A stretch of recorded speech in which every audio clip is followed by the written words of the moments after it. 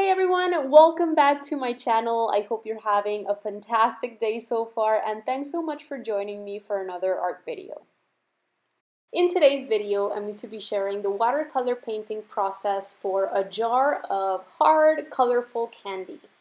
This is a piece I worked on this week as I really wanted to upload something new onto my Etsy shop.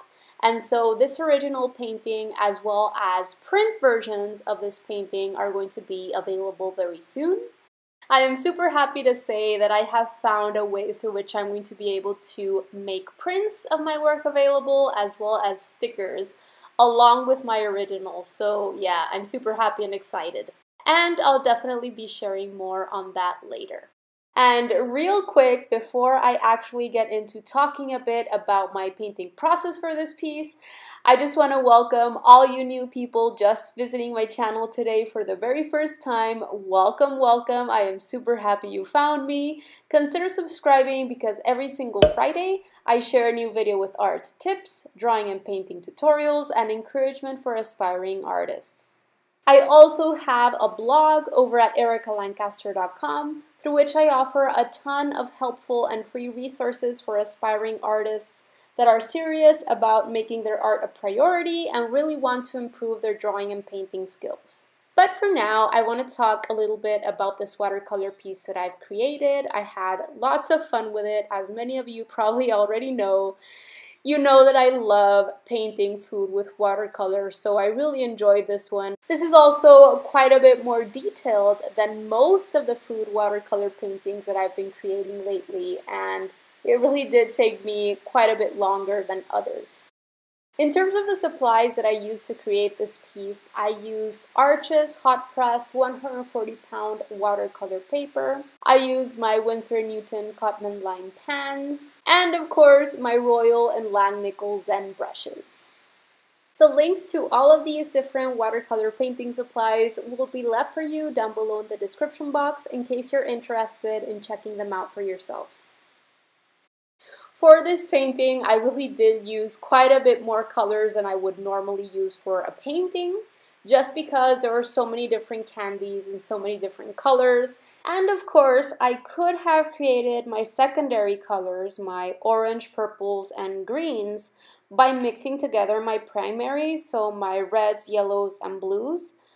However, I really like creating my paint mixtures as I go and because there are so many different colors in this piece, I would have needed a lot of space in my paint mixing palette that I didn't have. And so this is why I decided to just go for the ready-made colors in the pans. This said, I did make sure to test out my different reds, my different purples, my different blues on a couple of scrap pieces of watercolor paper prior to starting with my painting process so that I could select the specific pigments that I would be using from my Winsor Newton paint set.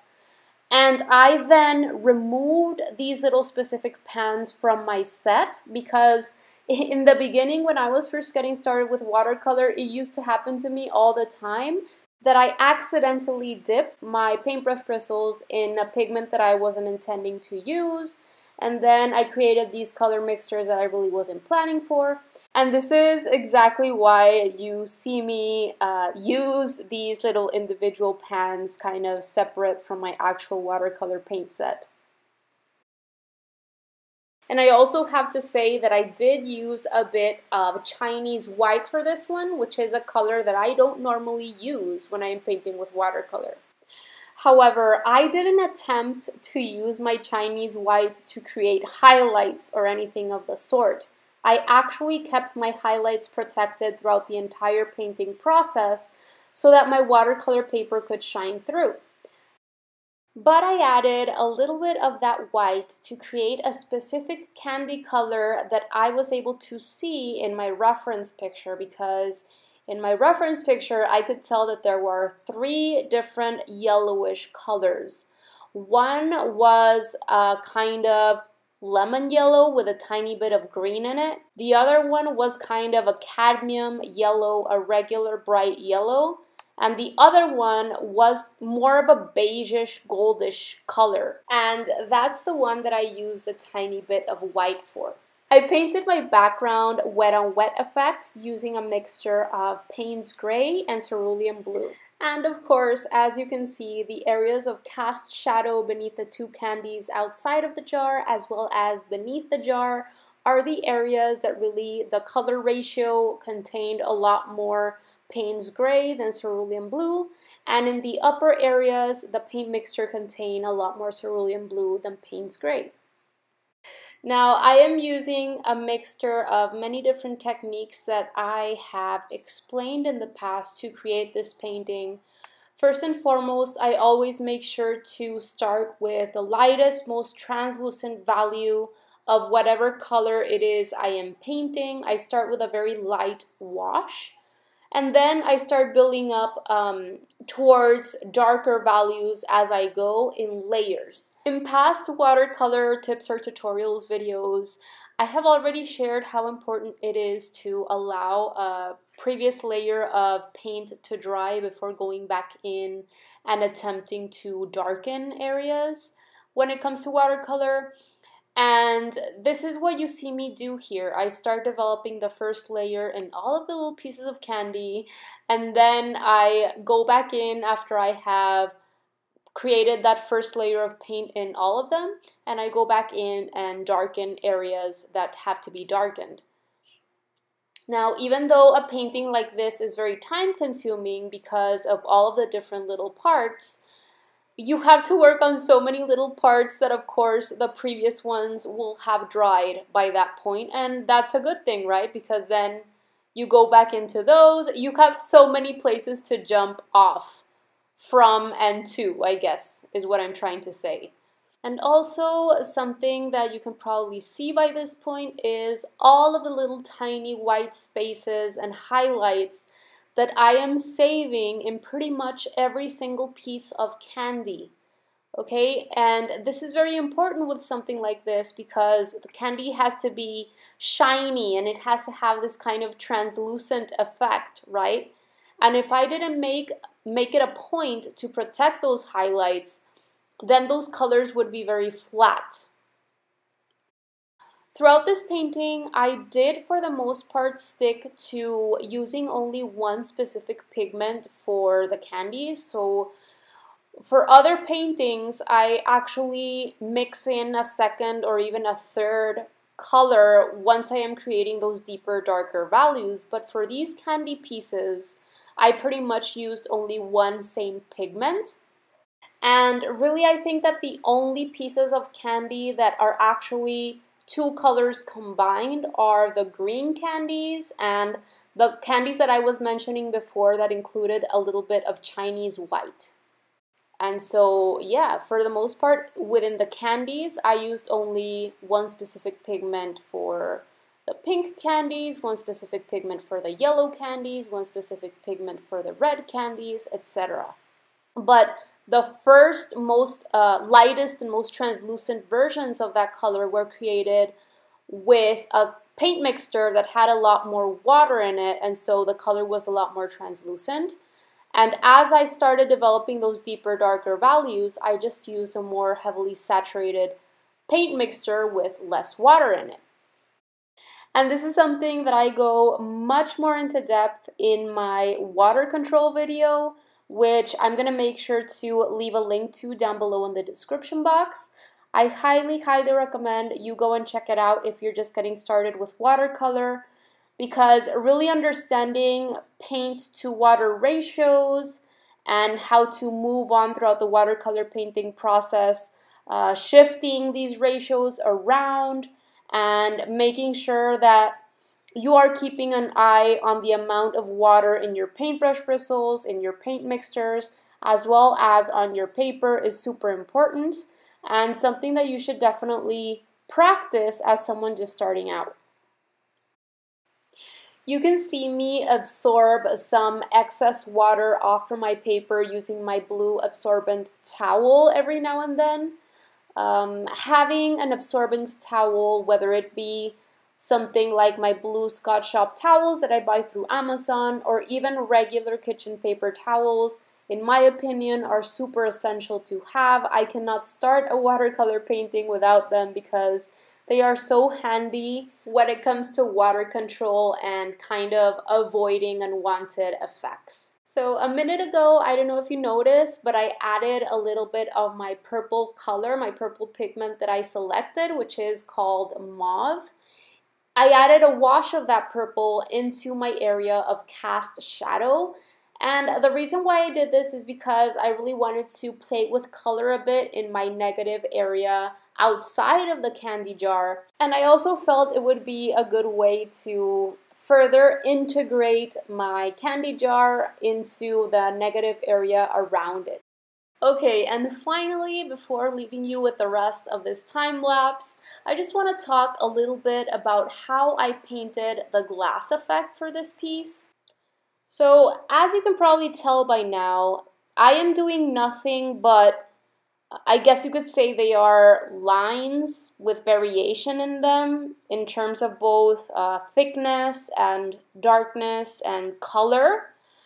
But if you remember, if you recall, the very first color that I used for these lines was the same color that I used to paint the background and the cast shadow below the candy jar with. It was the same mixture of cerulean blue with Payne's gray that I started uh, adding into these glass areas pretty much. Now, since the beginning, I'm being very, very careful to leave my areas of highlights that I am able to perceive in my reference picture within these glass areas. I am not worrying too much and being super obsessive about making my highlight areas exactly in the same size and location as I see them in my reference picture. Um, it is not my intention to create a, an exact replica of my reference image. I'm just using it as something to base my painting off of. And I even changed the background color of my reference image completely. In my image, the background is actually wood, and you're able to see the brown uh, colors from the wood through cer certain areas of the glass. And so I use the same principle uh, when I change the color of my background. So I made my background in a grayish bluish color so I made sure that I'm able to see the color of the background through certain areas of my glass because, well, glass is transparent, right? And because of this, because of this transparency, it would be a little bit weird if we didn't at least see a little bit of the background color in certain areas of the glass. And so I made sure to integrate it into certain areas to make it look a lot more believable. Now, even within the little lines and little areas of washes that I create in my glass sections, you could tell that I started with very light translucent washes and as the painting process moves forward, I get darker and darker even with my lines that I am placing in these areas. Um, and another quality of glass, of course, is that it's reflective. And so I am making sure that I am able to perceive at least a little bit of every single one of the colors that I use, or at least most of the colors that I use for my candies um, in certain areas of my glass. This is something that I was able to tell in my reference picture. There were certain tiny spaces of reds and certain tiny reflections of purples and yellows, etc. And I feel that it was a really beautiful way of integrating everything and making everything a little bit more playful and colorful. And yeah, that's why I decided to add in those tinges of the different colors that I use for the candies within the glass. As you see me move forward with the glass, you're going to see me get darker and darker and the glass is really going to pop out more and more.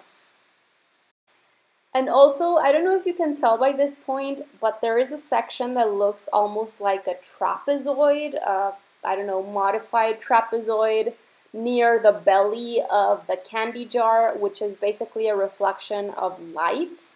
Slowly but surely, it's starting to pop out more and more as I start to develop the darker values around it, and that's basically how I created that effect. Inside of that rhombus, I just added very, very light translucent versions of color, making sure to leave some areas completely free of pigments. And then I am just staying away from that area, that weird rhombus shape, and only developing the darker midtones and darker darks around the rhombus. And that is how that reflection effect is popping out more and more. By this point, I'm just going back in and darkening areas that I feel have to be darkened more and perhaps working on developing smoother transitions from one value to the next. Because watercolors tend to dry lighter than how they look when they're wet, and I really love contrasting color in my work. I this is something I almost always do. I go back and add in darker values in certain areas and really like making my painting pop. I'm going to leave you now to enjoy the final section of this time lapse.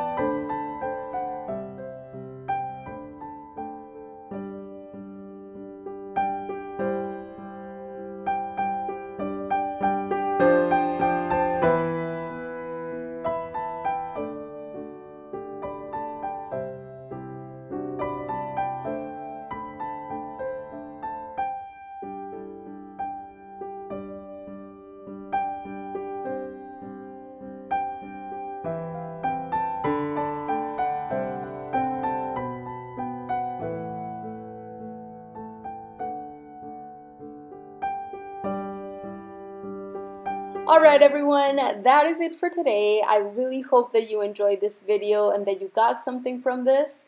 Let me know in the comment section below what your favorite type of candy is. And if you haven't participated in my first ever international giveaway over on Instagram, please don't forget to hop on over and participate. It's super easy and it's closing this Sunday, June 23rd.